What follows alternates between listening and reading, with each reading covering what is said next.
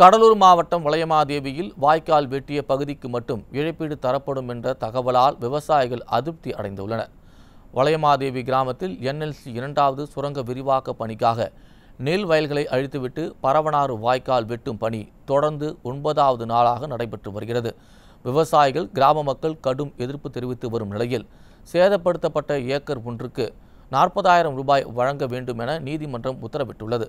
ஆனால் என்எல்சி நிர்வாகமோ ஒரு ஏக்கர் நெல் வயலில் வாய்க்கால் வெட்டிய பகுதிக்கு மட்டும் இழப்பீடு தரப்படும் என கூறுவதாக தகவல் வெளியாகியுள்ளது. இதை ஏற்றுக்கொள்ள முடியாது என கூறும் விவசாயிகள் விடியா திமுக அரசை நம்பி வாக்களித்ததற்கு தங்களுக்கு இந்த நிலைமை ஏற்பட்டு விட்டதாக குமுறி வருகின்றனர்.